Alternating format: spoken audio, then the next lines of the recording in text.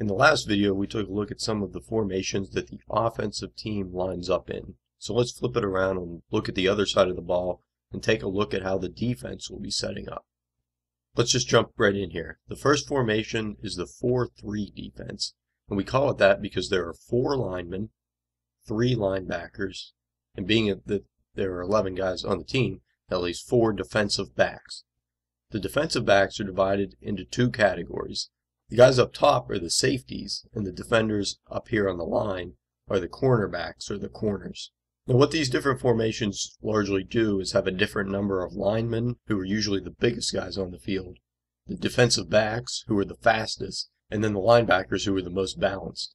There's lots of strategy behind using one formation over another based on the situation, and so we'll touch on that a little bit as we go on here. One important thing to remember is that even though the players might be standing in the same spot before each play, they don't always have the same assignment, so they won't always do the same thing during the play. What each guy does is determined by whatever play is called. So next we have something similar. It's called the 3-4. And so as you might have guessed it, rather than four linemen and three linebackers like in the 4-3, the 3-4 has three linemen and four linebackers. Remember, though, they're not all required to stand in any one spot, so you may see these linebackers start creeping up towards the line on occasion. Teams will generally pick one of these two, the 4-3 or the 3-4, as their base defense, and they will use those formations most often. Regardless of which one they pick, though, they will likely mix in the nickel and dime packages as well. So let's look at those now. If we find ourselves in a situation where the offense is likely to pass, the defense might go for the nickel package. This means that we have five defensive backs instead of four. Most likely it'll be two safeties and three corners.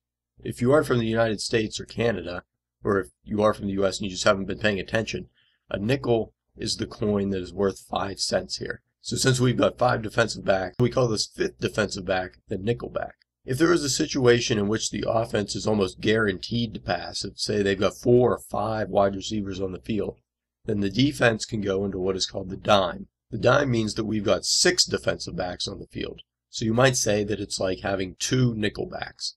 And so back to the money, a dime is worth two nickels. So that's where we get this name. We've got our nickel back, and then we've got our dime back. As for the last formation, we've got, it's called the prevent. The prevent means that we only have a total of three or four linemen and linebackers on the field and seven or eight defensive backs. Teams will only go into the prevent whenever they have a big lead, so they're just trying to prevent the offense from having a big play and scoring. They don't care if they give up yardage as long as the offense doesn't score and that clock keeps moving.